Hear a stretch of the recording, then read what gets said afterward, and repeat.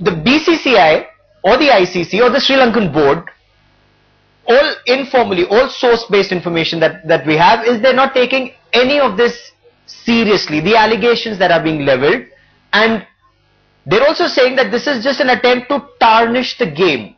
That's what you're doing. Uh, well, that's their thinking. I can't um, change their perception, or I can't suggest them. Uh, they, they can, they are free to uh, think whatever in their own humble way. But uh, I can't talk about BCCI. Uh, I don't have any connections with them. And uh, talking about the Sri Lankan board, I am here to speak about it because they have put a statement that all my statements about Dilshan are completely false. So I'm here for that clarification. Okay. Did you attend any of the IPL parties? No, I did not. None? No. And it's not that you'll change the statement if and when pictures surface? No, absolutely not. My challenge to you is that why don't you take out those IPL parties clippings and the footage and I'm sure from archives you can you can get all of it and and show my face somewhere, my pretty face in the party and I'm sure that if I was there, uh, the cameras would definitely capture me. I'm sure they would have. And you're saying you were at none of those parties? No, absolutely not. And you haven't partied with cricketers apart from Tillakaratne Dilshan?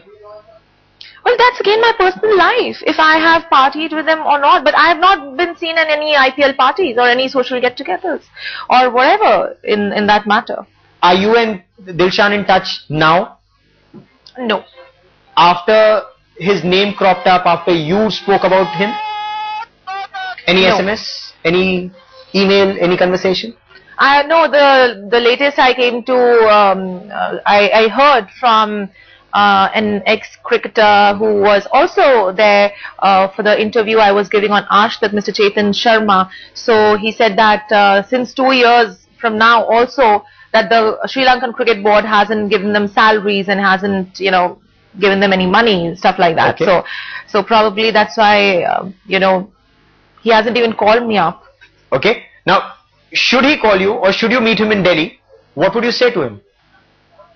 Well, I have nothing much to say. I'm sure that uh, he's uh, seeing uh, all the controversies and the scandals and and uh, whatever my statements have been. So, uh, if he asks me for a clarification, I will be definitely willing to give him. Otherwise, I have nothing to say to him. Yes, my the money that I spent, please return it back to me probably. So you'd want your 700 odd pounds that you say you've spent, or if not, if if it's more, whatever amount, you'd want it back. Of course. Okay. Will this controversy take your career forward? Uh, well, I don't know because it's a very hypothetical question and um, I don't have any answer to this because I cannot predict the future.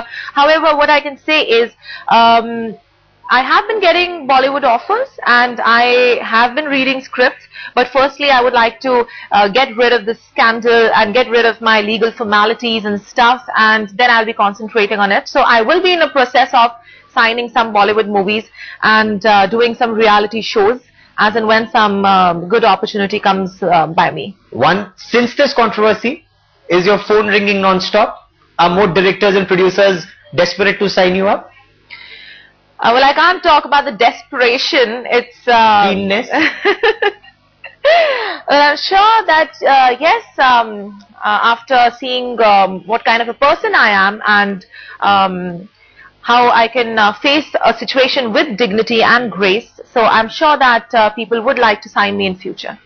How's your family reacting to this? Well, I come from a very well-educated and very well-reputed, intelligent family. Uh, my Both of my parents are surgeons and uh, they know how to handle such situations with grace. Your parents are both doctors, your brother's an engineer. Yes, they're very supportive and they know that I'm right and I'm a true girl and uh, they have been always there in my thick and thin. Okay. They've, they, have they have been with you through the thick and thin. For joining us here on Headlines today, Nupur Mehta, many thanks. Thank you so much.